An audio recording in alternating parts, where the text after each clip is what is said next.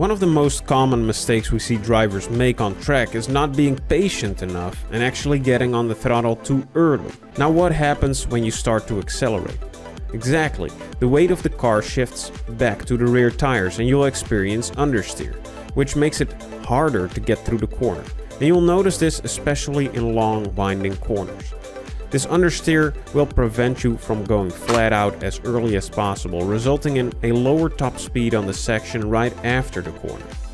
By being a little more patient and staying off of the throttle, you can get on full power earlier, resulting in a stable exit onto the following straight where you'll come out ahead of anyone who got on the power too early.